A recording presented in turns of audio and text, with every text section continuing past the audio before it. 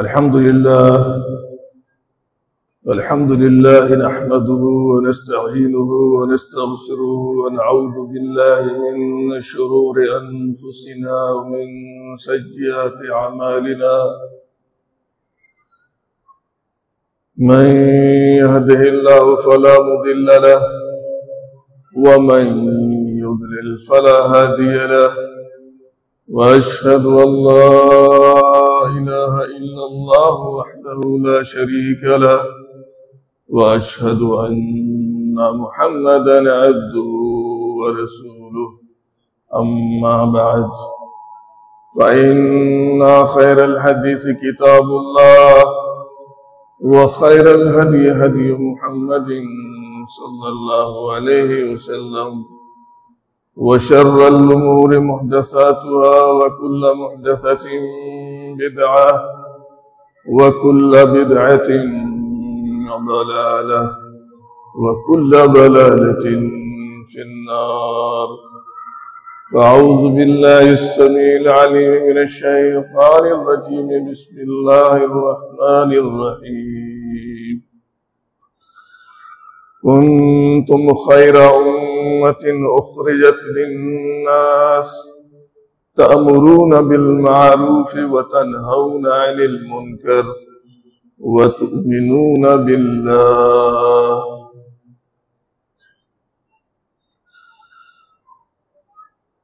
اسلامی دینی بھائیوں محترم اساتذہ اکرام، ملت کی ماں اور بہنوں اور عزیز طلبہ کسی بھی سماج اور معاشرے کا خواتین نصف حصہ ہوتی ہیں۔ اور ایک صحت مند معاشرے کی اصلاح کے لیے اور اس کی تربیت کے لیے جس قدر مردوں کے اوپر ذمہ داریاں عائد ہوتی ہیں، اسی قدر خواتین کے اوپر بھی ذمہ داریاں عائد ہوتی ہیں۔ ہماری شریعت نے اس سلسلے میں کوئی تفریق نہیں کی ہے۔ چونکہ ہماری اس مسجد میں جب سے جمعہ کا قیام ہوا ہے، اس وقت سے خواتین بھی جمعہ کی نماز میں آتی رہی ہیں اور ہر خطبے میں حاضر ہوتی ہیں۔ اس لیے آج کے خطبے میں خاص طور سے میری کوشش یہ ہوگی، جیسا کہ بعض حضرات کا یہ خیال ہے یا تصور ہے کہ سماج کی اصلاح کی ذمہ داری صرف مرد حضرات پر عائد ہوتی ہے یا کچھ لوگ یہ سمجھتے ہیں کہ خواتین اگر اصلاح کی کوشش کرتی ہیں تو ان کی یہ اصلاح کی کوشش اتنی مؤثر، اتنی افیکٹو نہیں ہوتی ہے۔ جس قدر مؤثر اور افیکٹو مرد حضرات کی کوشش، اصلاح کی کوشش ہونی چاہیے۔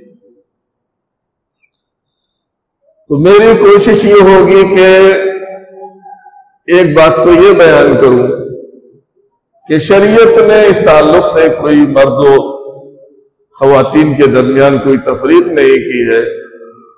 اور دوسری بات، اس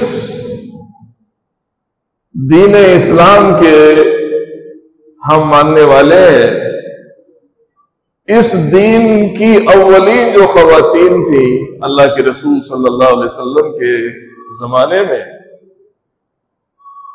ان کی زندگی اور ان کی سیرت سے کچھ ایسے حادثات اور واقعات آپ کے سامنے رکھے جائیں اور خاص طور سے خواتین کے لیے پیش کیے جائیں تاکہ وہ اپنی اس اہمیت کو سمجھ سکیں، اپنے اس کردار کو ادا کر سکیں کہ ان کا بھی ایک اہم رول ہے اس سماج کی اصلاح اور معاشرے کی تربیت کے سلسلے میں۔ تو آئیے، ویسے تو قرآن و حدیث کے اندر عام نصوص بھی موجود ہے جو آیت میں نے آپ کے سامنے تلاوت کی ہے، اس میں اللہ رب العزت نے اس امت کو خیر امت قرار دیا ہے۔ کہ بہترین امت ہے آپ لوگ۔ لیکن اس خیریت کے لیے، اس افضلیت کے لیے اللہ رب العزت نے تین شرائط بیان کیے ہیں۔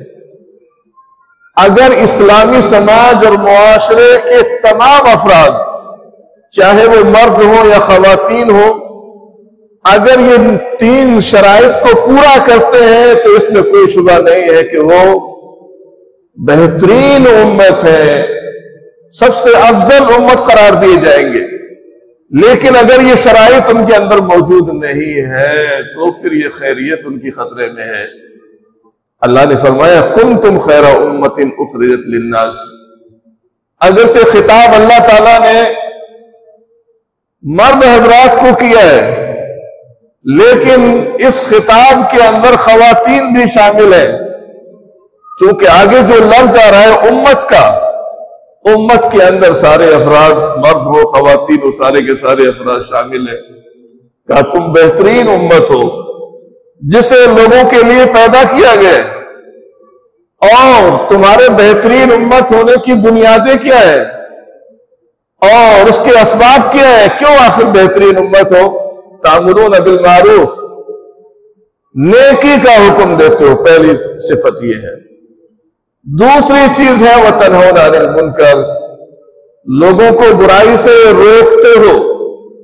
اور تیسری صفت ہے تم باللہ، اللہ تعالیٰ پر ایمان رکھتے مشہور مفسر مجاہد، مشہور تابعی ہے، کہتے ہیں کن تم خیر اللہ سے اللہ شرط کہا کہ اس امت کے سارے افراد، چاہے وہ مرد ہو یا خواتین ہو بہترین امت ہے۔ لیکن اس کے لیے شرط کیا ہے؟ کہا، اس شرط کی بنیاد پر انتامر بالمعروف۔ کہ تم لوگوں کو نیکی کا حکم دو گے اچھے کاموں کا حکم دو گے وطن ہو انل من کر اور لوگوں کو برائی سے روکو گے وہ تمن بلّہ ہے اور اللہ پر ایمان لاؤ۔ اس بنیاد پر تم بہترین امت ہو۔ آئیے، جو خاص نصوص ہے خواتین کی اس ذمہ داری سے متعلق اللہ رب العزت کا ارشاد ہے۔ اور اللہ تعالی نے اس آیت میں اہل ایمان، چاہے وہ مرد ہو، چاہے خواتین ہو، ان کی پانچ اچھی صفات کا تذکرہ فرمایا ہے۔ جبکہ اللہ تعالیٰ نے اس آیت سے پہلے منافقین کی بری صفات کا ذکر کیا ہے۔ اور منافقین کی بری خصلتوں کے ذکر کرنے کے بعد اللہ تعالیٰ نے اہل ایمان کی پانچ صفات کا تذکر کرتے ہوئے فرمایا، والمؤمنون والمؤمنات بعضهم اولیاء بعض۔ اہل ایمان، چاہے وہ مرد ہو، چاہے وہ عورتیں ہوں، آپس میں ایک دوسرے کے معاون و مددگار ہوتے ایسا ہونا چاہیے۔ یہ صفت ہمارے اور آپ کے اندر موجود ہونی چاہیے۔ ایمان کا تقاضا یہی ہے کہ ہم ایک دوسرے کی مدد کریں، ایک دوسرے کا ساتھ دیں، ایک دوسرے کے ساتھ بھلائی، خیر خواہی کے جذبات رکھیں۔ لیکن شاید یہ صفات مردوں کے اندر بھی اب کم ہوتی جا رہی ہے اور خواتین کے اندر مشہور مسل ہو گئی ہمارے یہاں کہ عورت ہی عورت کی دشمن ہے۔ گویا کہ خیر اور بھلائی کا کوئی جذبہ ایک عورت کے دل میں، عورت کے تئیں موجود نہیں رہ گیا ہے۔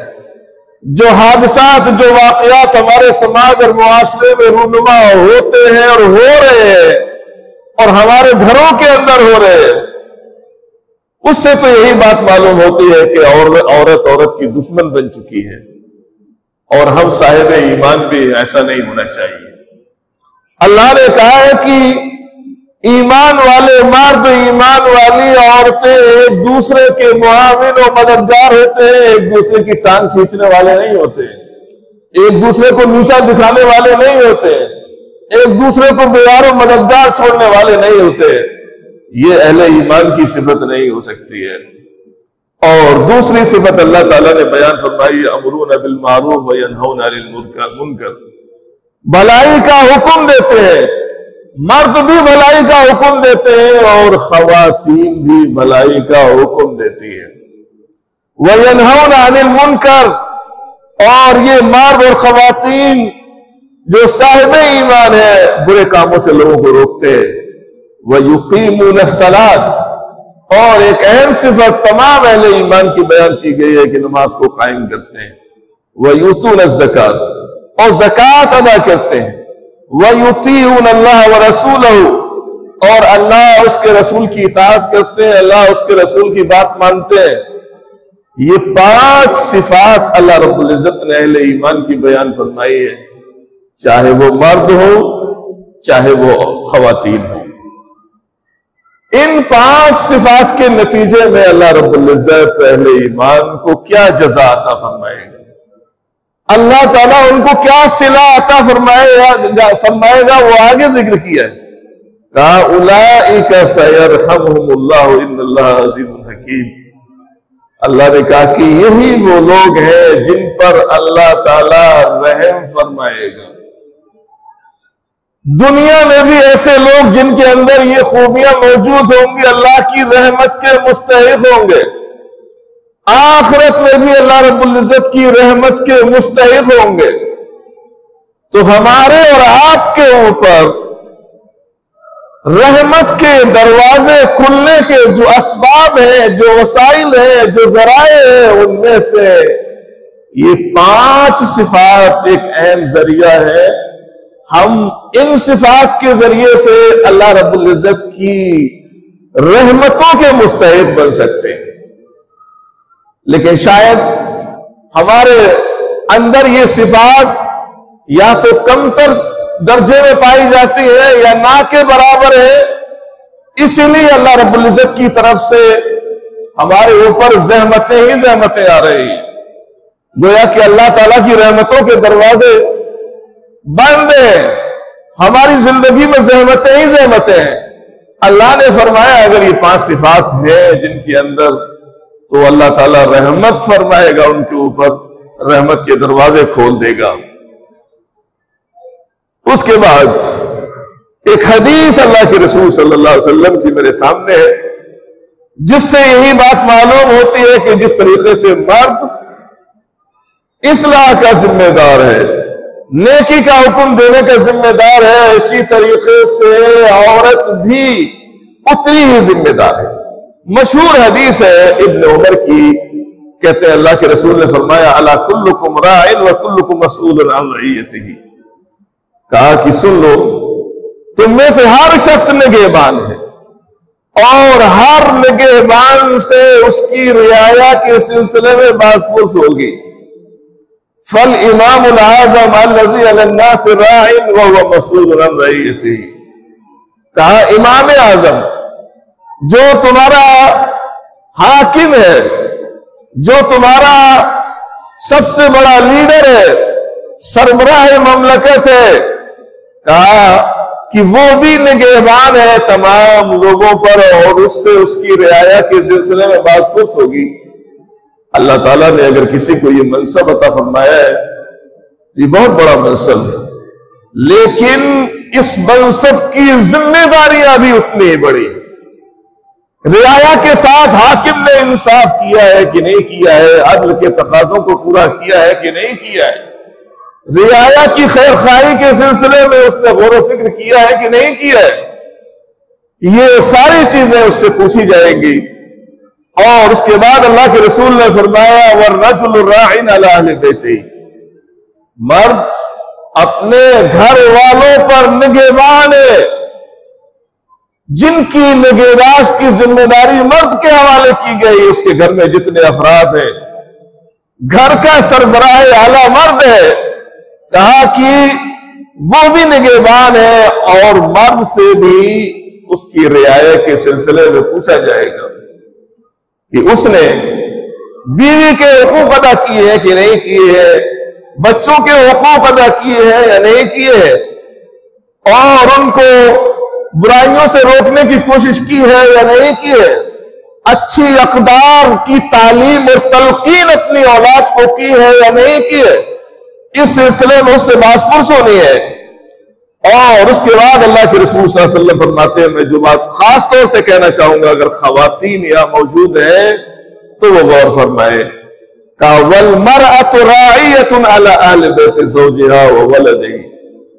اور کہا کہ عورت اپنے شوہر کے گھر والوں پر نگہ بان ہے اور اپنے شوہر کی اولاد پر نگہ بان ہے اور عورت سے بھی جن کی نگہداشت کی ذمہ داری اس کو دی گئی ہے، ان کے تعلق سے باز فرس ہوگی کہ ان کی نگہداشت کی یا نہیں کی، ان کو اچھی اقدار کا حکم دیا یا نہیں دیا۔ بچوں کی اچھی تربیت کی ہے یا نہیں کی ہے؟ شوہر کے حقوق ادا کیے ہیں یا نہیں کیے ہیں؟ اور بچوں کے حقوق ادا کیے ہیں یا نہیں کیے ہیں؟ عورت سے بھی خاص طور سے اس سلسلے میں باز پرس ہونی ہے۔ اور پوچھا جائے گا۔ اس کے بعد اللہ کے رسول کہتے ہیں کہ عبد الرجل رائن علام سید ہی کہا کہ انسان کا غلام اور اس کا خادم اپنے آقا کے مال کا نگہبان ہے، نگرہ ہے۔ اور اس سے بھی پوچھا جائے گا کہ اس نے کوئی خیانت تو نہیں کی ہے اس مال میں؟ کہا اللہ فکلکم رائن وکلکم مسعود عن رعیتی۔ اس لیے ہر شخص کو سن لینا چاہیے کہ ہر شخص ذمہ دار ہے اور اس سے اس کے ذمہ داری کے سلسلے میں بعض پر سنی ہے کہ وہ ادا کر رہا ہے یا نہیں کر رہا ہے۔ تو میرا جو اصل موضوع ہے وہ خواتین سے تعلق رکھتا ہے۔ یہاں خواتین کا ذکر خاص طور سے کیا گیا ہے کہ خواتین سے یہ بعض پوس اللہ تعالی کے یہاں کی جانی ہے کہ وہ اپنی ذمہ داریوں کو ادا کر رہی ہے یا نہیں کر رہی ساری ذمہ داری شوہر کے اوپر ڈال دینا یا گھر کا جو مرد ہے اس کے اوپر ڈال دینا۔ اور اپنے آپ الگ ہو جانا بریو ذمہ ہو جانا، یہ درست بات نہیں۔ ہے بعض خواتین یہی سمجھتی ہیں کہ گھر میں بچے کوئی غلط سیریل دیکھ رہے ہیں، غلط چیزیں کر رہے ہیں، غلط کام کر رہے ہیں، وہ ان کو منع کرنے کے لیے، ٹوکنے کے لیے تیار نہیں ہے۔ وہ یہ سمجھتے ہیں کہ گھر کا جو سربراہ ہے جو ذمہ دار ہے، جو شوہر ہے، وہی آ کر منع کرے گا، وہی ان کو روکے گا، وہی اصلاح کرے گا، وہی تربیت کرے گا۔ یہ خواتین کا رویہ صحیح اور درست نہیں ہے۔ خواتین اگر گھر میں موجود ہے اگر کوئی غلط کام ہو رہا ہے، تو خواتین کی اولین ذمہ داری ہے۔ شوہر کا انتظار نہیں کرنا ہے۔ کہ آپ کے اندر اگر استطاعت ہے، تو بچے جو بھی غلط کام کر رہے ہیں، اس کو ان کو روکنے کی کوشش کریں، اصلاح کی کوشش کریں، تربیت کی کوشش کریں۔ آئیے، بہت ہی اختصار کے ساتھ میرے سامنے اس امت کی جو اولین خواتین ہے ان کی صرف ایک مثال میں خواتین کے لیے ذکر کرنا چاہتا ہوں۔ کہ اللہ کے رسول صلی اللہ علیہ وسلم کے زمانے میں جو صحابیات تھی انہوں نے اپنی اولاد کی، اپنے بچوں کی، اپنے گھر والوں کی، اپنے شوہر کی کس طریقے سے اصلاح فرمائی ہے؟ کس طریقے سے ان کو غلط کاموں سے روکا ہے؟ انہی میں سے ایک صحابیہ جن کا نام آتا ہے، مشہور ہے ام سلیم کے نام سے اور ان کا نام ذکر کیا جاتا ہے ملیکہ بنت ملحان۔ یہ اپنی قوم کے ساتھ مسلمان ہوئی۔ اولین مسلمان ہونے والے لوگوں میں ان کا شمار ہوتا ہے۔ اور مرخین کہتے ہیں کہ اللہ کے رسول صلی اللہ علیہ وسلم کی رضائی خالاؤں میں شمار ہوتے ہیں۔ اللہ کے رسول صلی اللہ علیہ وسلم کثرت سے ان کے گھر جایا کرتے تھے۔ اور اللہ کے رسول صلی اللہ علیہ وسلم سے اس قدر محبت کرتی تھی۔ کہ جب بھی اللہ کے رسول صلی اللہ علیہ وسلم گھر جاتے تھے، کچھ نہ کچھ نئی چیز ان کو اللہ کے رسول کو پکا کر کھلایا کرتے تھے۔ اللہ کے رسول صلی اللہ علیہ وسلم سے بے پناہ محبت کرتی تھی۔ انہوں نے شادی کی۔ ایک صاحب ہے جن کا نام ہے مالک ابن نظر اسلام سے پہلے کی یہ بات ہے۔ شادی کی مالک ابن نظر سے وہ انجبت من انس ابن مالک۔ اور اس شوہر سے ان کو ایک بیٹا پیدا ہوا۔ اور جو آگے چل کے یہی بیٹا انس ابن مالک مشہور صاحب یہ رسول ہے۔ اور مشہور خادم رسول ہے اللہ کے رسول صلی اللہ علیہ وسلم کے خادم ہوئے۔ یہ خاتون اس قدر عقل مند ہوشیار اور اولاد کی تربیت کے تعلق سے اس قدر حساس تھی کہ شوہر کو جب یہ بات معلوم ہوئی کہ میری بیوی مسلمان ہو چکی ہے، وہ ناراض ہو کر بھاگ گیا، شام چلا گیا، اور وہاں رہا وہاں سے واپس نہیں آیا، وہیں اس کی وفات ہو گئی۔ اب اس شوہر سے ایک بیٹا تھا، انس، اس شوہر نے یہ عہد کیا اور یہ طے کیا کہ جب تک یہ بچہ ہوشیار نہیں ہو جائے گا اور کچھ لوگوں کی مجلس میں بیٹھنے کے لائق نہیں ہو جائے گا، چلنے پھرنے کے لائق نہیں ہو جائے گا۔ تب تک میں شادی نہیں کروں گی۔ کس لیے؟ اس لیے کہ اگر وہ شادی کرتی ہے تو ایسی صورت میں بچے کی صحیح تربیت نہیں ہو سکے گی۔ بچے کی تربیت کیسے کی ہے؟ بچے کو خود ہی لکھنا سکھایا، جبکہ اس زمانے میں لکھنا تعجب کی بات تھی، لوگ جانتے ہی تھے، نہیں تھے، لکھنا، کیسے لکھا جاتا ہے۔ پڑھنا سکھایا۔ اس بچے کو اس طرح سے تربیت کی، لکھنا اور پڑھنا سکھایا۔ اللہ کے رسول ہجرت کر کے گئے۔ وہاں کے لوگوں نے اللہ کے رسول صلی اللہ علیہ وسلم کو بہت ہی گرم جوشی کے ساتھ استقبال کیا اللہ کے رسول کا۔ طرح طرح کے ہدیے توحفے عنایت فرمائے اللہ کے رسول کو۔ جاتی ہیں اللہ کے رسول کی خدمت میں حاضر ہوتے ہیں اور کہتی ہیں اللہ کے رسول میرے پاس ہدیے اور توحفے میں دینے کے لیے کچھ نہیں۔ لیکن ہاں یہ چھوٹا بچہ ہے، میں آپ کی خدمت میں اس کو دیتی ہوں۔ میری طرف سے یہی ہدیہ اور تحفہ ہے۔ یہ وہ خاتون ہے جن کا میں ذکر کرنے جا رہا ہوں۔ آئیے، ذکر یہ ہے، ابن سعد نے اسحاق ابن عبداللہ سے روایت کی ہے کہ انہوں نے اپنی دادی ام سلیم سے یہ بات نقل کی ہے۔ کیا ہے؟ کہتے ہیں کہ انہا آمنت بے رسول اللہ صلی اللہ علیہ وسلم۔ کہ ام سلیم اللہ کے رسول صلی اللہ علیہ وسلم پر ایمان لے آئی فقالت فجاء ابو انس وکان غائبا۔ تو ابو انس جو ان کے شوہر تھے، وہ کہیں سے آئے، گھر پر موجود نہیں تھے۔ معلوم ہوا کہ بیوی مسلمان ہو گئی۔ تو کہا کہ تھے شوہر نے کہا، تعجب سے کیا تم بے دین ہو گئی ہو؟ اس زمانے میں جو شخص اسلام قبول کرتا تھا، تو اس کو لوگ کیا کہتے تھے؟ بدین ہونا سمجھتے تھے۔ اللہ کے رسول صلی اللہ علیہ وسلم جو نیا دین لے کر آئے اس کو کہتے تھے کہ اگر انسان اسلام میں داخل ہو رہا ہے تو یہ بدین ہو گیا ہے اور ہمارے موجودہ زمانے میں بھی بہت سارے افراد ایسے ہیں۔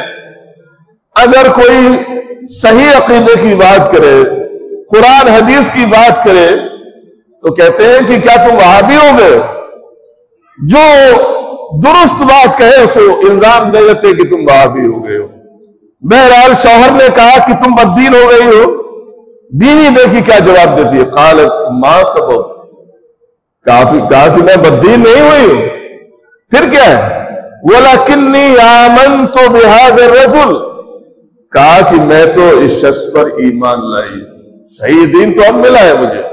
اللہ کے رسول صلی اللہ علیہ وسلم کی جانب اشارہ کیا کہ میں اللہ کے رسول صلی اللہ علیہ وسلم پر ایمان لائی۔ قالت فجعلت تلقن انسا تشير اليه قل لا اله الا الله.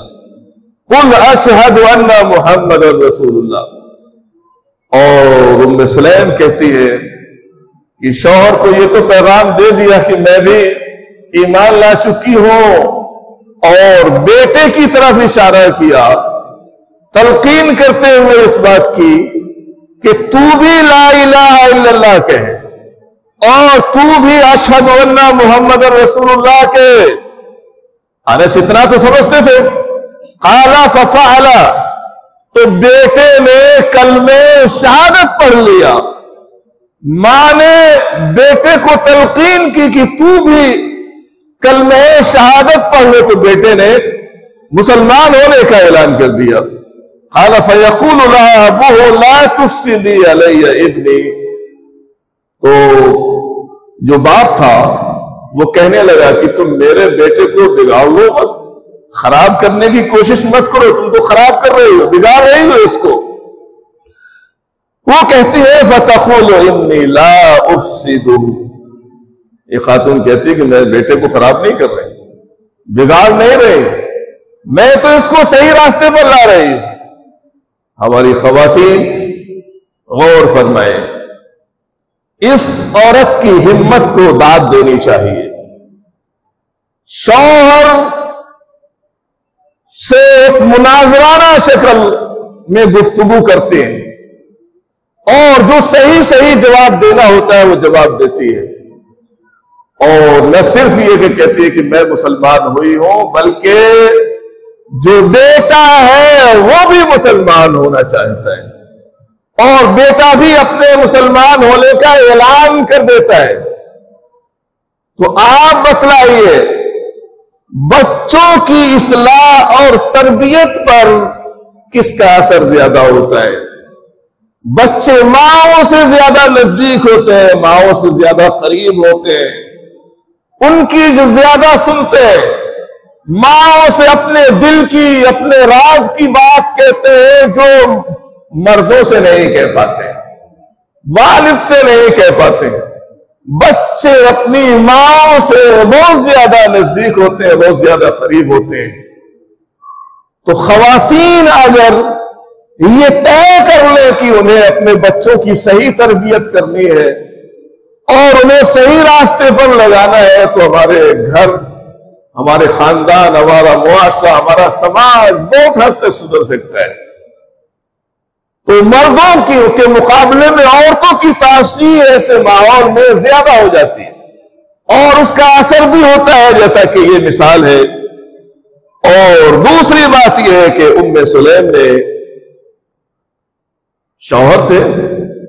آپ کہہ سکتے ہیں کہ شوہر کی نافرمانی کی۔ تو ایسے موقع سے شوہر کی نافرمانی واجب اور ضروری ہو جاتی ہے۔ ایک طرف اسلام ہے دوسری طرف کفر ہے۔ تو کیا کرنا ہے؟ ایک مسلمان کو کیا کرنا ہے؟ شوہر کی بات ماننی ہے یا اسلام پر عمل کرنا ہے اس کو؟ ام سلیم نے شوہر کی بات نہیں مانی۔ اللہ کے رسول صلی اللہ علیہ وسلم کی مشہور حدیث ہے، لا طاعت لمخلوق فی معصیت اللہ تبارک و تعالی۔ جہاں اللہ تعالیٰ کی نافرمانی ہو رہی ہے وہاں کسی کی بات آپ کو نہیں سننی ہے اگرچہ وہ آپ کا شوہر ہی کیوں نہ ہو، شوہر کا بہت اونچا مقام ہے ہمارے دین، ہماری شریعت کے اندر۔ لیکن اگر شوہر غلط طریقے سے یا برائیوں کے ذریعے سے بچوں کو بگاڑ رہا ہے، خراب کر رہا ہے، لا یعنی اور فضول باتوں میں مصروف کر رہا ہے تو ایسے موقع سے خواتین کو ہمت دکھانی چاہیے، ان کے اندر حوصلہ ہونا چاہیے۔ اور نہ صرف یہ کہ بچے کی اصلاح کی کوشش کرنی چاہیے، بلکہ شوہر کی اصلاح کی بھی کوشش کرنی چاہیے۔ یہ بھی ذمہ داری عائد ہوتی ہے خواتین کے اوپر۔ اور اس عورت نے، ہو سکتا ہے میں آگے چل کے کسی موقع سے ذکر کروں کہ یہ وہ خاتون ہے۔ پوری اسلامی تاریخ میں اس خاتون کا جو مہر تھا، وہ کسی بھی خاتون کا مہر نہیں بن سکا۔ شوہر کی اصلاح کر لی۔ جب بیٹا سمجھدار ہو گیا، اللہ کے رسول کی خدمت میں چلا گیا۔ شادی کا پیغام آتا ہے۔ ایک صاحب شادی کا پیغام لے کر آتے ہیں اور وہ کافر ہوتے۔ ہیں کہا کہ میں تم جیسے کافر سے کیسے شادی کر سکتی ہوں؟ بار بار چکر لگاتے ہیں، پیغام دیتے ہیں، کہا کہ نہیں۔ ہاں اگر مسلمان ہو جاؤ، تو میں اس شرط پر تم سے شادی کرتی ہوں، مہر میں مجھے کوئی چیز نہیں چاہیے۔ دنیا کی کوئی بھی دولت، پیسہ، کچھ نہیں چاہیے۔ باغ بغیچہ جو کہ کچھ زمانے میں مار میں دیا جاتا تھا، مجھے کچھ نہیں چاہیے۔ صرف تمہارا اسلام ہو چاہیے۔ تم مسلمان ہو جاؤ تو میں تم سے شادی کر سکتی ہوں۔ اور ایسا ہی ہوا، مسلمان ہوا وہ شخص اور اسلام میں داخل ہونے کے بعد شادی کی ہے اس خاتون نے۔ تو اسلام جس کا مہر ہوا رہا کسی خاتون کا مہر اسلام نہیں رہا اس نے کہا مجھ کو کچھ نہیں چاہیے۔ تو آپ سوچئے ہمارے زمانے کے جو نوجوان، نئی نسل کی جو خواتین ہے جو ہماری نوجوان بیٹیاں ہیں، دنیا بھی عیش و آرام دیکھ کر مال، پیسہ، دولت دیکھ کر لوگ کہہ رہے ہیں کہ مرتد ہو رہے ہیں اور غیر مسلم لڑکوں سے شادیاں کر رہے ہیں۔ حیرت ہوتی ہے کہ آپ کون کس درجے کی مسلمان ہے ایک مسلمان یہ خاتون بھی تھی اس نے کہا کہ میں کافر سے کسی بھی صورت میں شادی نہیں کر سکتی۔ کوئی دولت، کوئی پیسہ، دنیا کا مال و متا مجھے نہیں چاہیے، مجھے اسلام چاہیے۔ لیکن آج ہمارے زمانے میں ہماری بیٹیاں غیروں سے شادیاں کر رہی ہیں، اس لیے کہ وہاں زیادہ دولت ہے، زیادہ پیسہ ہے۔ دنیا کی چمک اور دمک ہے، کس قدر افسوسناک صورت ہے اللہ رب العزت سے دعا ہے کہ اللہ تعالی ہمیں ان خواتین اسلام سے عبرت اور نصیحت حاصل کرنے کی توفیق عطا فرمائے۔ اور اللہ تعالی ہمارے دلوں کے اندر بھی اسی طرح سے ایمان کو راسخ کر دے، جس طریقے سے اللہ تعالیٰ نے ان خواتین کے دلوں کے اندر ایمان کو راسخ فرمایا تھا۔ وہ الحمد للہ